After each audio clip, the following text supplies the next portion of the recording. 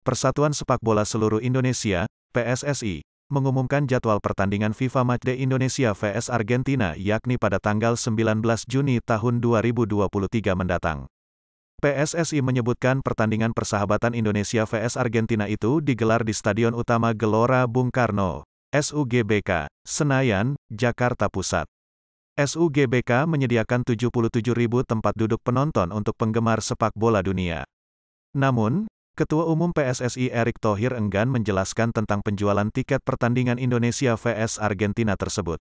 Dia hanya memastikan bahwa penjualan tiket bakal lebih booming daripada tiket konser grup band Coldplay yang diadakan pada tanggal 15 November tahun 2023 mendatang. Yang pasti kalau tiketing, kok saya yakin lebih booming dari Coldplay. Betul? Hah? Tim Argentina ke Indonesia belum tentu 20-30 tahun sekali datang. Ini pertandingan bersejarah. Ini mental yang dibangun gitu. Indonesia sepak bolanya mau bangun dari tidur.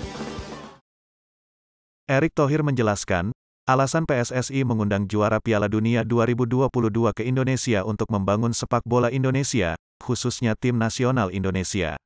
Oleh karena itu, klub sepak bola di Indonesia harus terus mendukung timnas Indonesia. Seperti yang sering saya sampaikan bahwa kita harus serius membangun timnas kita. Karena itu sejak awal saya dan para exco bilang bagaimana FIFA Matchday itu salah satunya kita untuk memperbaiki juga keberadaan timnas kita, ujar Erik. Karena hal itu kenapa kita di tahun ini dan tahun depan kita benar-benar mempersiapkan timnas kita untuk FIFA Matchday. Bahkan sudah ada kesepakatan klub-klub liga di Indonesia mereka bakal dukung timnas karena memang tugasnya PSSI menyiapkan timnas. Liga itu dikelola secara independen, tetapi Liga harus bersama dengan PSSI untuk mendukung timnas, kata Erick Thohir.